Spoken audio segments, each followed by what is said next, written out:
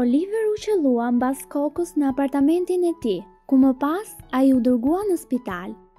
Ka katër të dyshuar dhe të gjithë ishin komshi të Oliverit. Emili tha që ajo ishte duke bërë ecje në park që herët në mëngjes. Henry ndërkohë tha që ai po pikturonte në studion e tij dhe nuk ishte dëgjuar asgjë. Jamesi tha që ai po rregullonte makinën e tij. Sofia tha që ajo po bënte një banjo në vaskë gjatë 3 orëve të fundit. Mundohuni të shikoni duart e këtyre njerëzve dhe përpiquni të gjeni se kush po gënjen. Keni 10 sekonda kohë për ta gjetur.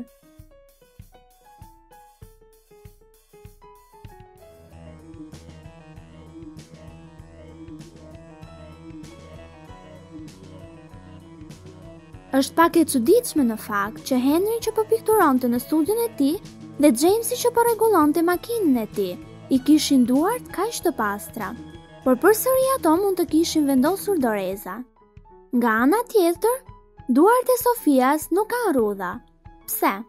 Sepse do të ishte një reagim normal i lëkurës po të qëndronte vërtet më shumë se 3 orë duke bërë banjo në vaskë. Policia zbuloi se kishte një hajdut të ri në qytetin e tyre.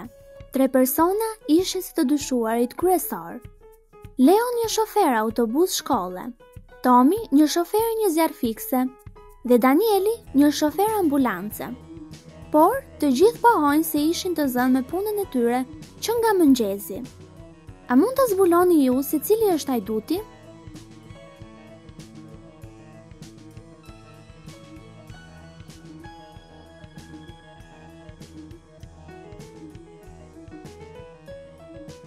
Shikoni makinën që Danieli nget. Në të tilla makina fjala ambulancë është shkruar mbrapsht dhe jo saktë. Në mënyrë që shoferat ta shikojnë fjalën tamam nga pasqyra e makinës së tyre. Ishte dita kur Beni do të dilte nga spitali. Ai ka qëndruar aty për disa muaj tani dhe ka bërë disa operacione. Doktori i tij i tha që ai do të ishte mirë dhe që mund të largohej nga spitali. Por, ai nuk i besoi atyra dhe i mërzitur doli nga spitali.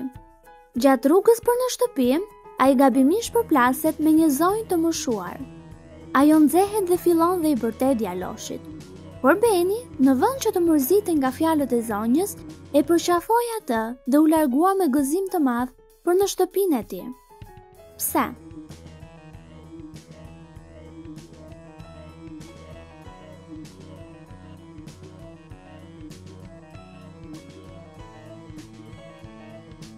Beni kishte probleme me dëgjimin dhe mendonte se problemi që kishte nuk mund të zgjidhej. Por kur ai pastaj dëgjoi zonjën duke i bërtitur atij, ai e kuptoi që doktori i kishte thënë të vërtetën. Maria qëndroi vonë në zyrë një ditë për të punuar.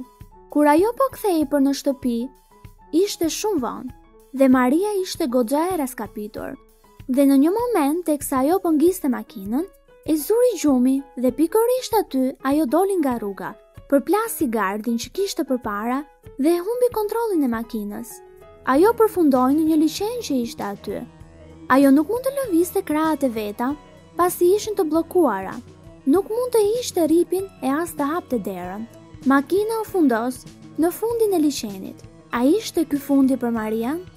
Ndihmat për ta shpëtuar Marian erdhën 3 orë më vonë. Ajo ishte ende në makinë, por ishte gjallë. Si mbijetoi Maria?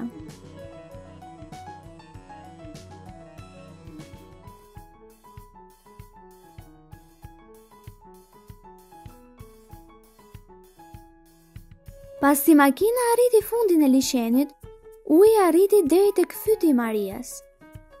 Ela shkoi në ditëlindjen e një shoqe së saj. Ishte një festë me gjëegjëza. Të gjithë të ftuarit duhet të zgjidhnin gjëegjëzat dhe të merrnin pjesë në sfida të ndryshme. Sfida e Elës ishte të dilte nga bodrumi i mbyllur. Vajzat kishin vënë një shami tek sytë dhe mbasi e hoqi atë, ajo pa që dera kishte një lloj sigurie. Ajo pa gjithashtu një copë letër poshtë ngjitur me derën. Tek letra ishin katër lule të vizatuara. Ela mbasi i pa me kujdes ato, vendosi kodin e saktë dhe dera u hap. Ajo doli prej aty dhe iu bashkua festës. Si ishte kodi?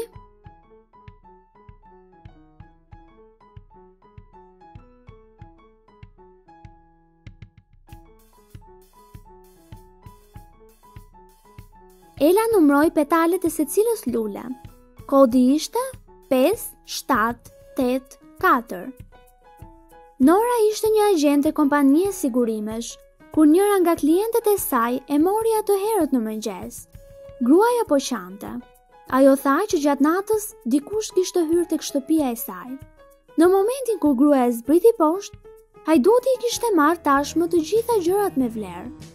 Kur ajo pa nga dritarja, pa që hajduti po largohej me shpejtësi. A e mban mend se si dukej ai? e pyeti Nora. Gruaja u përgjigj, Ishte akoma errësirë jashtë. E kuptova që ishte një burrë, shtoi ajo, i gjatë dhe i dobët.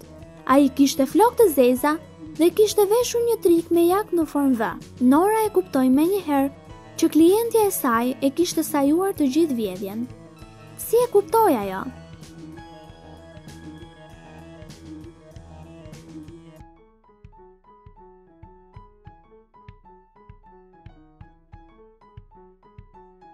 Nëse ishte errësirë dhe burri po largohej nga shtëpia e klientes së saj, atëherë si e pa ajo që ai kishte një trikë në formë V dhe flokë të zeza?